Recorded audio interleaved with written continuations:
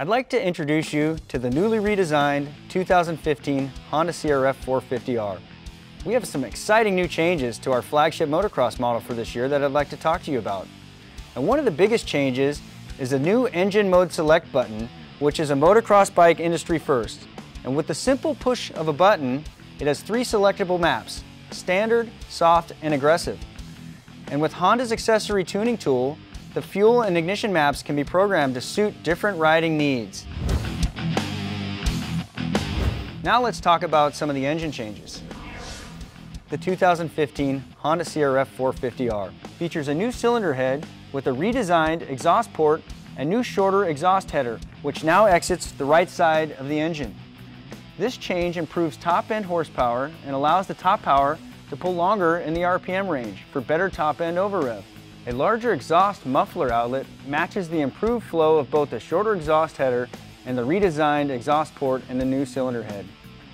Fuel injection and ignition timing settings have been readjusted and are designed to match the new engine and exhaust changes to maximize top power and over rev.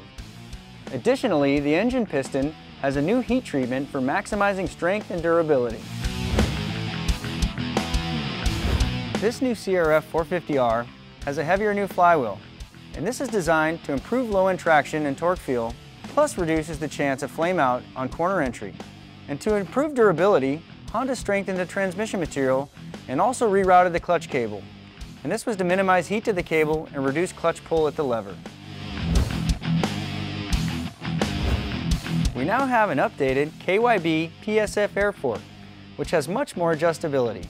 By adding both high and low speed compression and rebound adjusters, the rider can now improve fine-tuning adjustment to the fork for personalized suspension settings on a wider variety of conditions. To go with the front fork, a new KYB shock design relocates the rebound adjuster to the top of the shock body, as you can see here. And this gives customers much easier access to the adjuster, so they can quickly change rebound adjustment with ease. One more feature I'm really excited to talk about. We have added new wave style brake rotors, both front and rear. But the front rotor gets a nice upgrade.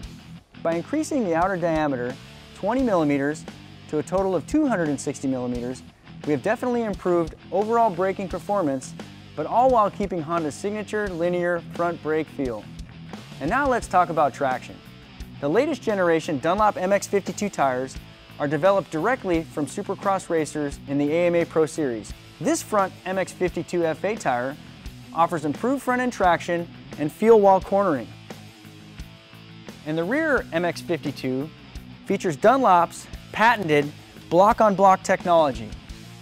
This improves rear wheel traction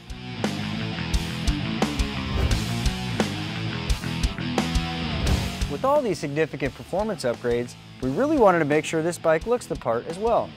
Not only does it have a fresh new CRF graphic design on the shrouds and a new Renthal bar pad, it also gets a host of blacked out accents, which include the rear brake disc guard, rear caliper guard, as well as a front radiator grille. And there you have it. These are all the important changes to the new 2015 Honda CRF 450R.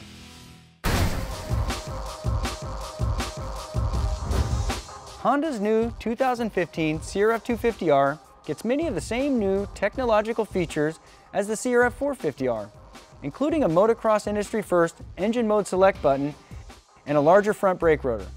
It also receives the new updated styling as well as the blacked out accents.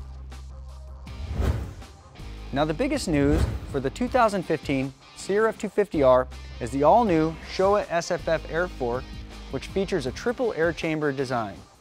This fork has been utilized and tested by the AMA Factory Works race teams.